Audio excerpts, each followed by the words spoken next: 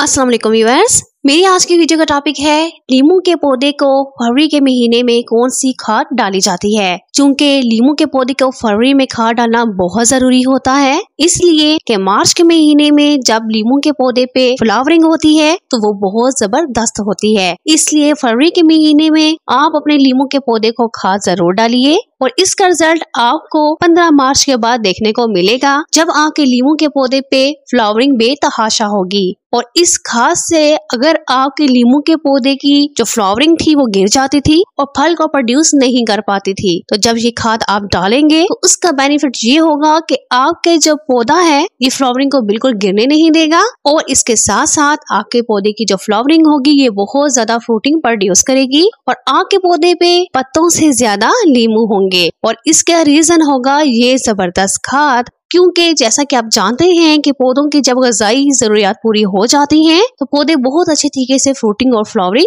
करते हैं। तो चलते हैं आज की खाद की तरफ़। इसके लिए आपने एक लीटर पानी लेना है और एक लीटर पानी में आपने सरसों की खली, दो मुट्ठी डालना है और फिर आपने इसमें डालनी है नीम खली। नीम खली आपने पाउडर फॉर्म वाली यूज़ करनी है। आपने इसमें दो चम्मच नीम खली डाल देना है। उसके बाद आपने इसमें डालनी है वुड एश लकड़ी की राख। लकड़ी की राख आपने इसमें दो चम्मच डाल देने हैं, लेकिन अगर आपके पास लकड़ी की राख मौजूद नहीं है तो मैं आपको एक और चीज़ बताऊँगी। लेकिन वो चीज़ आप खाद तैयार करने के बाद उसमें ऐड करेंगे। अभी आप उसमें ये चीज़ डाल सकते हैं, यानी कि लकड़ी की राख आप दो चम्मच डाल दीजिए, अगर आपके पास अवेलेबल है। लेकिन अगर नहीं है तो मैं आपको एक और चीज़ बाद में बताऊँगी। और इसके साथ ही आप इसमें डाल दीजिए वर्मी कम्पोस्ट वर्मी कम्पोस्ट आपने इसमें दो मुट्ठी डाल देनी है। वर्मी कंपोस्ट में नाइट्रोजन फास्फोरस और पोटाशियम पाया जाता है। और ये तीनों चीज़ें पौधे की ग्रोथ के लिए बहुत ज़्यादा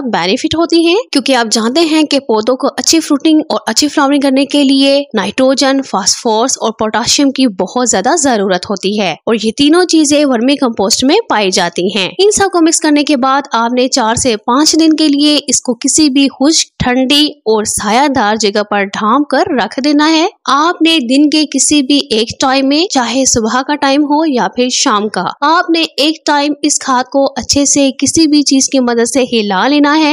ताकि इसमें मौजूद जितने भी अज्जा हैं, वो अच्छे से मिक्स हो जाएँ। तो आप दिन के किसी भी टाइम में एक टाइम इसको अच्छे से हिला लीजिए। चार से पाँच दिन गुजरने के बाद आपके पास ये खाद ज़बरदस्त तैयार होगी। अब आपने इसमें वो चीज़ ऐड करनी है जो मैंने आपको बताई थी। अगर आपने इसमें वुड एश डाल दी है तो फिर आपने ये नहीं डालनी है। लेकिन अगर आग ने वुड ऐश आपके पास अवेलेबल नहीं थी तो फिर अब आप इसमें हल्दी दो चम्मच डाल दीजिए। और फिर आप इसको अच्छे से मिक्स कर दीजिए। क्योंकि ये खाद एक लीटर पानी में तैयार हुई है, इसलिए ये खाद बहुत ज़्यादा थिक हो जाएगी। चार से पाँच दिन में खाद फूल जाती है और फूल जाने की वजह से एक लीटर पानी में तैयार की गई जो खाद होती है, ये बहुत ज़्यादा गाढ़ी हो गई है। इसलिए आप इसको डायरेक्ट अपने पौधे में अप्लाई नहीं करेंगे। अगर आप डायरेक्ट इसको अपने पौधे में डाल देंगे तो इससे आपके पौधे की जो मट्टी होगी, इसको फंगस लग जाएगा और आपका जो पौधा होगा, वो भी खराब हो जाएगा। तो अब इसको कैसे तैयार किया जाएगा, ये मैं आपको बताती हूँ।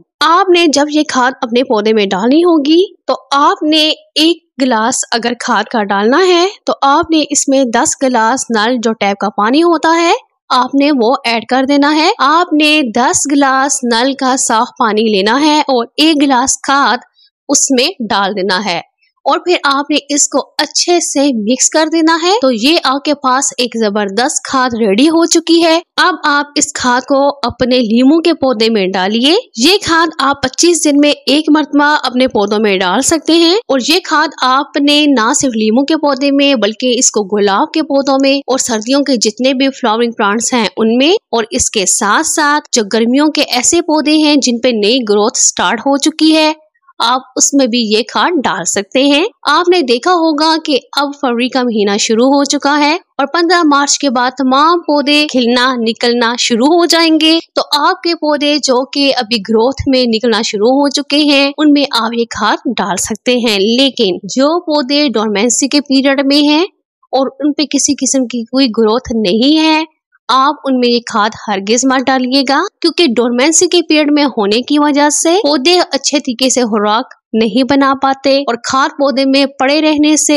न सिर्फ़ मिट्टी में बल्कि पौधों की जड़ों में भी फंगस लग जाता है और खाद पौधे को बेनिफिट देने की बजाय पौधे को जला देती है। इसलिए जो पौधे डोरमेंसी के पीरियड में हैं, जो गैर फाल हालत में हैं, जो आरामदेह हालत में हैं, आपने उनमें ये खाद नहीं डालनी है। ये खाद आपने सिर्फ़ उन पौधों में डालनी है जिनमें पौधों में ग्रोथ आप देखें कि उनकी जो टहनियाँ हैं, उन पे नए नए पत्ते निकलना शुरू हो चुके हैं। तो आप उनमें ये खाद डाल सकते हैं। आपने इस खाद को अगर आपके पास बड़े साइज़ का गमला है तो आप एक गिलास डालिए और अगर आपके पास छोटे साइज़ का गमला है तो आप आधा गिलास ये खाद डाल दीजिए। खाद डालने से पहले आपने पौधे की मिट्टी को चेक कर लेना है। खाद डालने के लिए आपने ये देखना है कि जो पौधे की मिट्टी होगी, पौधे की मिट्टी को भुरभुरा होना चाहिए, ना बहुत ज़्यादा गीला और ना बहुत ज़्यादा ड्राई इस तरह ये खाद डालने का बहुत ज़बरदस्त टाइम होता है। जब भी आप अपने पौधे के गमले की मिट्टी को देखें कि ना ज़्यादा गीली है, ना ज़्यादा खुश्क है, बल्कि भुरभरी मिट्टी है, हल्की नम है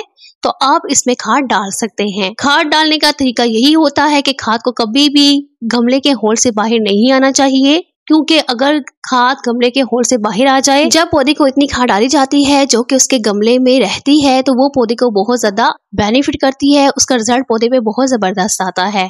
इसलिए आप बड़े गमले में एक गिलास और छोटे गमले में आधा गिलास ये खाद डाल दीजिए। और इसके अलावा, जैसा कि आप जानते हैं कि इस खाद से क्या होगा, इस खाद से आपके गुलाब के पौधों पे ना सिर्फ़ फूलों की तादाद बढ़ जाएगी इससे गुलाब का फूल का साइज़ भी डबल हो जाएगा और आपके पौधे की ग्रोथ भी बहुत ज़्यादा बढ़ जाएगी। और लीमू के पौधे में डालने से ना सिर्फ़ आग का पौधा लीमू से बढ़ जाएगा, उसमें लीमू का साइज़ भी डबल हो जाएगा और आग का पौधा पूरी गर्मी में बहुत अच्छे तरीके से फोटिंग करता रहेगा। लेकिन चूँकि आप जानते हैं कि इस खाद में हमने सरसों की खली डाली है और जो सरसों की खली होती है, ये पौधों के पत्तों पर हरगिज नहीं गिरनी चाहिए। इसलिए जब आप ये खाद अपने पौधों में डालें तो आपने सिर्फ़ इस बात का एक एहतियात करनी है कि आपने पौधे की जो गमले की मट्टी है उसमें ये खाद डालनी है। आपने पौधे के पत्तों पर गलती से भी ये खाद नहीं डालनी। अगर गलती से आपसे पौधे में खाद डालते हुए कुछ खाद पौधे के पत्तों पर गिर जाए तो आप फ़ौरन साफ़ पानी से उसको अच्छे तरीके से धो लीजिए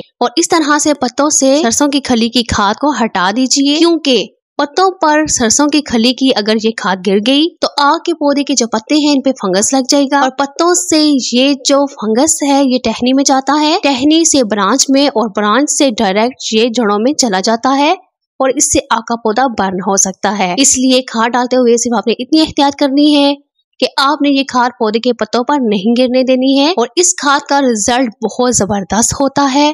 आप एक बार ये खाद अपने पौधों में ज़रूर डालिए। और इसका रिज़ल्ट देख लेने के बाद मुझे उम्मीद है कि आप बार बार ये खाद तैयार करके अपने पौधों को ज़रूर डालेंगे। इसके अलावा अगर आज की वीडियो के हवाले से कोई क्वेश्चन आपको पूछना हो तो वो कमेंट सेक्शन में पूछिए। मैं इनशाला आपको उसका ज़रूर जवाब दूँगी। और अगर आप मेरे चैनल पर नए हैं तो आप मेरे चैनल का विज़िट कीजिए।